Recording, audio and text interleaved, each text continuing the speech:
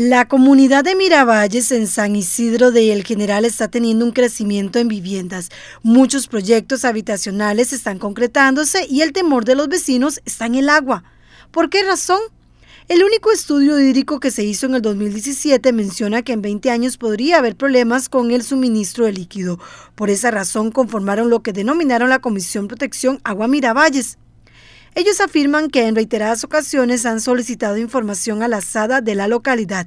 Sin embargo, las respuestas que reciben son escasas o prácticamente nulas. Por ello, acudieron a la Oficina Regional de Acueductos Rurales de la IA para denunciar el hecho. Y también ante la ARECEP, en ese estudio vienen muchas faltas, pero nos preocupa es donde dice que el faltante de agua. Entonces, la SADA desde entonces se ha vuelto muy hermética y más bien nos ha cerrado mucha información. Tuvimos que acudir a la, a ARECET, por medio de la ARECET, se le dijo a la Dirección de Aguas de la, ORAC, que es la Dirección Brunca acá en, en Pérez Celedón y en toda la zona sur, y ellos han comenzado a dar el seguimiento.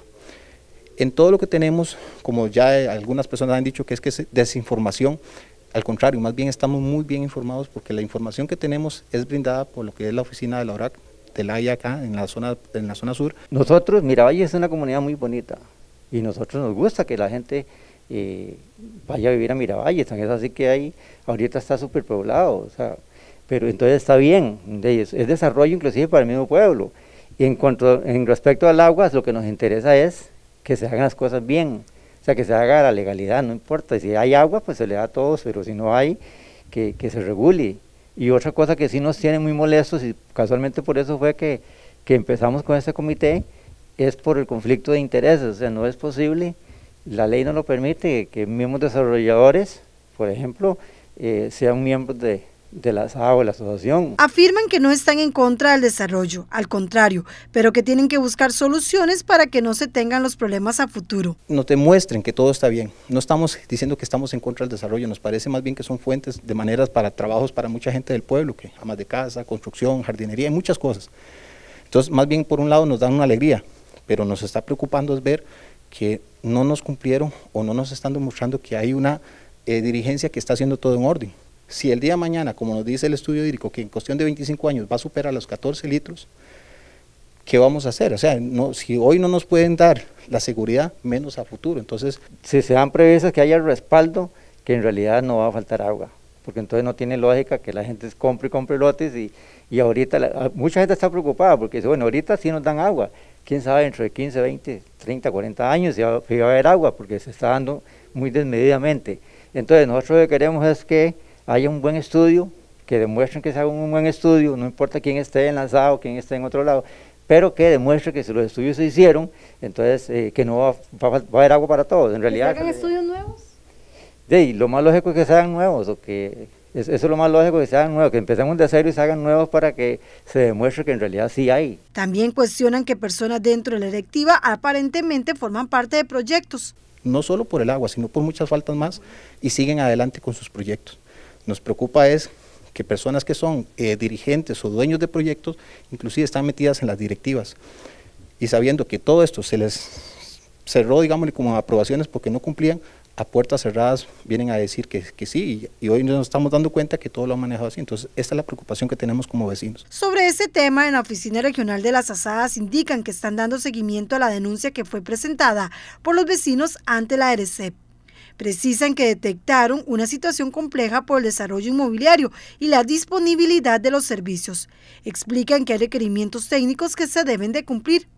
El estudio fue rechazado y la SADA tiene que subsanar una serie de recomendaciones, las cuales hasta el momento no han sido recibidas en esta oficina. La parte de ingeniería nuestra es la que revisa ese estudio y en el caso específico de Miravalles el estudio fue rechazado. ¿Qué implica esto? que en el, componente de conclusiones y recomendaciones, este, la SADA debe suministrarle ese documento a la empresa que está realizando el estudio técnico correspondiente, ¿verdad? Esa empresa tiene que subsanar todas las observaciones, ¿verdad? Y conclusiones a las que eh, llegó la parte de ingeniería nuestra, ¿verdad? Ese proceso eh, no ha sido devuelto. Es decir, una vez que se subsanen esas eh, recomendaciones, ¿verdad? Entonces nos devuelven eso y ya de nuevo la ingeniería ve y revisa y, da un visto bueno. Con el visto bueno, ¿qué se demuestra? ¿verdad?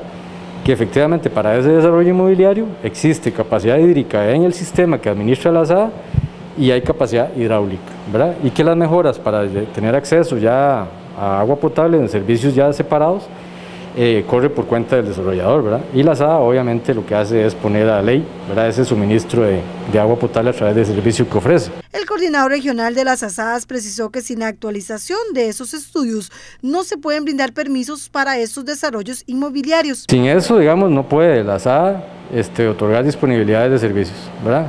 Una vez que se, se avala el estudio, significa que para ese desarrollo X o Y existe disponibilidad de agua. Y ya se le había advertido a la SADA también en otro informe que presentó el ingeniero de nuestro hora, eh, que efectivamente para ciertos desarrollos inmobiliarios ahí se ocupaban nuevas fuentes, ¿verdad? Entonces es tarea de la SADA buscar esas nuevas fuentes de agua, ¿verdad? Y generar los aforos y la disponibilidad del recurso hídrico para poder subsanar, digamos, la necesidad de, agua potable, digamos, en, esos desarrollos y eso se hace a través de un estudio técnico. Sobre esta asada, el Consejo Municipal de Pérez Celedón aprobó semanas atrás una moción para pedir una intervención de la IA debido a las supuestas anomalías. Asimismo, integrantes de la Junta Directiva de la SAA se defendieron de las acusaciones en una entrevista en TV Sur Noticias sobre este tema, indicando que están trabajando en la actualización de las nacientes y en mejorar el estudio.